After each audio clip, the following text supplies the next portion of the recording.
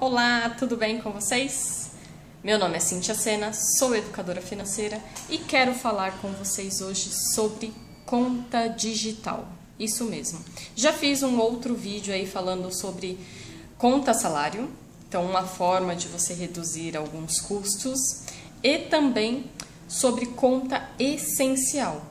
Então este vídeo é um além, um adicional de uma opção a mais para você ter isenção de tarifas, de cobranças e continuar com as suas transações financeiras.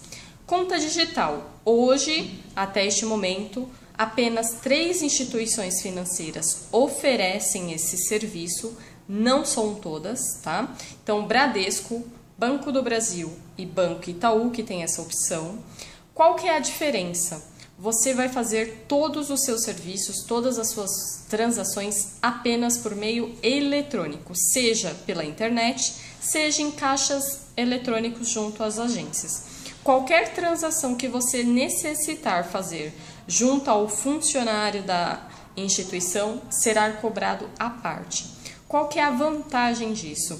Principalmente para quem faz transferência entre bancos ou começou a investir a ter o seu rendimento financeiro em outras aplicações, você vai fazer o que? As suas TEDs, os seus DOCs, então são transferências que você faz eletronicamente, vai ter a isenção das tarifas. Então você tem um pacote ilimitado de transações sem pagar nada mais por isso. Além disso, você não tem manutenção mensal, então não tem aquela tarifa mensal. E também tem liberação de pagamentos pela internet, pagamentos pelos caixas eletrônicos, sem qualquer cobrança adicional.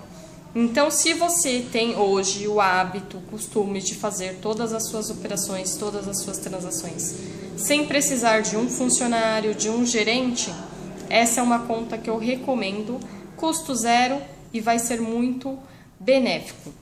Para abrir uma conta dessas, o que, que você vai precisar? vai precisar ir até uma agência. Então, esse passo inicial você vai precisar da instituição. Vai ter que levar um comprovante de endereço, um comprovante de renda e cópia dos seus documentos. Simplesmente isso. Faz a, a solicitação, na hora você já tem acesso à sua conta. Você geralmente, dependendo da instituição, recebe um código para acessar a internet e dali você consegue realizar todas as suas transações. Estou falando isso porque eu consegui fazer com a Dona Maria junto ao Banco Bradesco.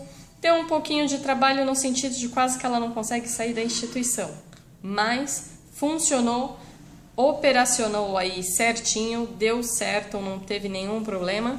E então hoje venho compartilhar com vocês que esta é mais uma opção de redução aí se você paga 20, 30, 40, 50 reais de manutenção da sua conta e acaba não utilizando esse serviço. Espero que tenham gostado, pratiquem, analisem quanto que vocês realmente utilizam dos seus bancos e faça essa mudança, tudo bem? Te aguardo num próximo vídeo, deixe seus comentários e se quiser também, curta, compartilhe e mande para os amigos. Beijos! Tchau, tchau!